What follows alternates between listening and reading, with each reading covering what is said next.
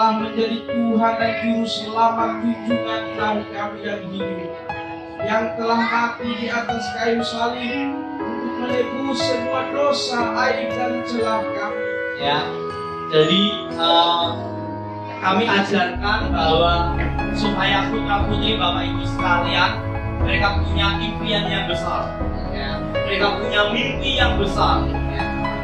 dan saya berpesan kepada setiap para orang tua yang khususnya ya, ketika anak bapak ibu semuanya mereka punya mimpi yang besar punya impian yang besar ya. saya harapkan kita sebagai orang tua support kita sebagai orang tua mendukung